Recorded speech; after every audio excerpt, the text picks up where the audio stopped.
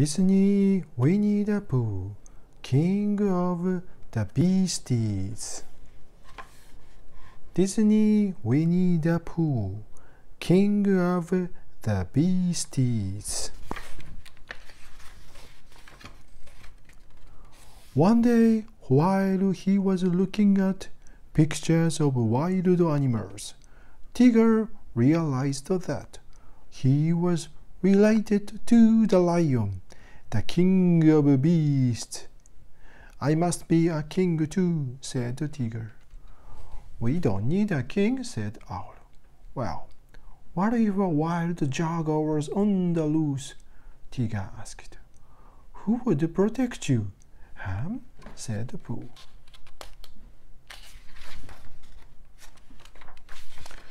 Tigger had a plan.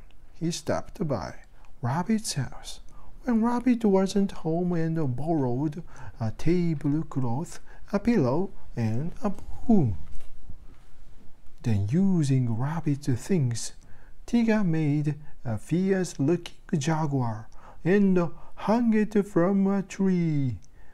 I don't want to scare them too much, he said to himself. I just want them to make me king.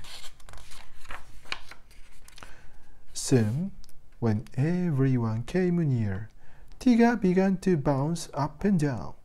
Jaguar, Jaguar, he cried. Run for your lives. Tigger ran up to the Jaguar and gave it, gave it a few fierce whacks with a stick. Then he tossed the Jaguar into a cage. Hooray for Tigger! cried the Pooh. He saved us. Tigger should be king. And so, just as he had wanted, Tigger was crowned king of the hundred acre wood. He began acting like a king right away. First of all, commanded King Tigger, from now on and forever, after the hundred acre wood shall be known as Tiggeropolis. Next, King Tigger commanded his subjects to paint the trees in the Tiggeropolis royal orange and black. Then he ordered everyone to bounce. But my feet are tired from all that painting, Pooh complained.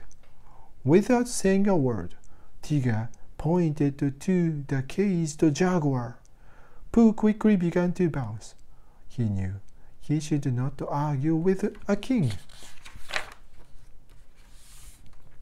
Later, Rabbit wandered by. Hum, he said to himself. That looks like my tablecloth, and that's my pillow. If Tigger wanted to borrow my things, he should have asked. I'll teach that tiger a lesson.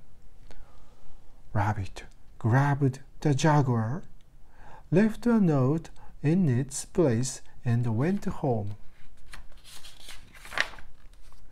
Soon Owl came by and saw the note.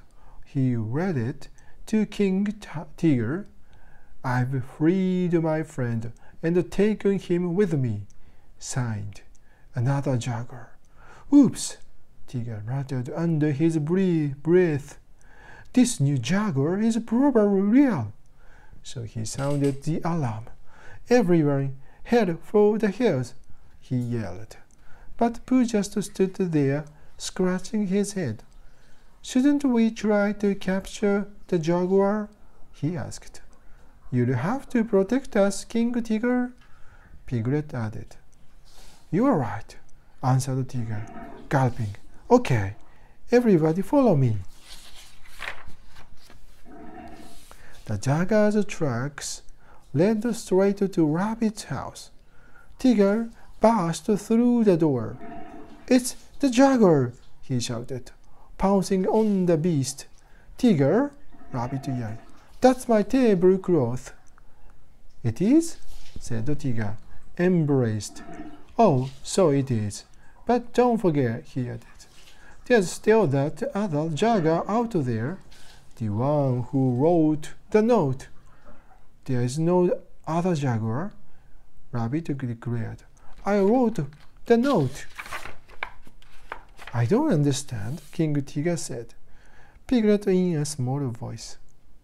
Tiger hung his head. I've got a confession to make, he said. I made up the Jaguar because I wanted to so much to be king. I guess I got carried away, he sniffed. I'm sorry. I suppose we could forgive you, Tiger, Piglet said. After all, you are our friend. That's right, said the Tiger, looking around happily. I'm your friend? But what about all that painting and bouncing? Pooh asked. I promise I won't ever do that stuff again, declared the Tiger. Come on, let's have a king uncrawling.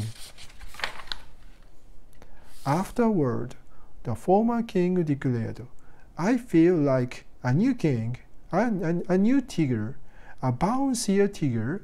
Even if I'm not king, I'm still tiger. That's right, that's true, said the rabbit with a sigh. Tiger grinned, and I'm the only one